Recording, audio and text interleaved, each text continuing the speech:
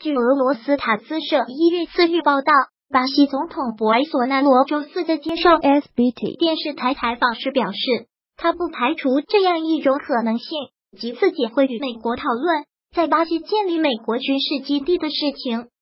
他在回答相关问题时指出，基地的物理存在问题，甚至可以被称为是象征性的。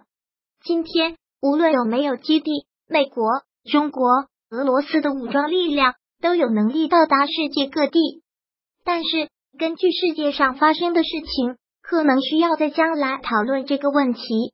博尔索纳罗补充称：“我靠近美国，这是一个经济问题，但它也可能是一个军事问题。”我们可以在这个领域达成协议。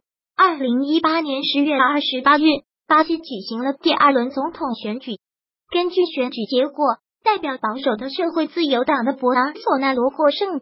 一月一日，这位政治家就任巴西总，他的任期是四年。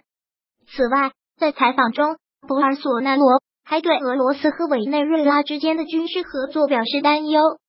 他说道：“俄罗斯在委内瑞拉举行了演习。”我们知道委内瑞拉总统马杜罗政府的意图，马杜罗的独裁统治，巴西应该担心这一点。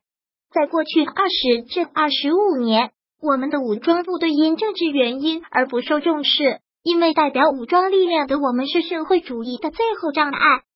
如果他们毁掉我们的脊椎，他们将在这里建立这种制度。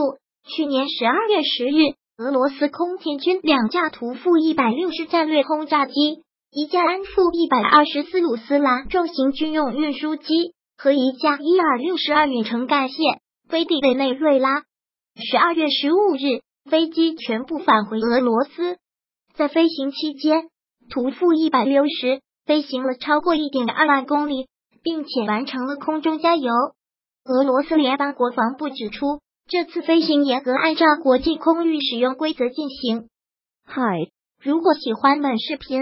请分享并订阅本频道，别忘了按赞了。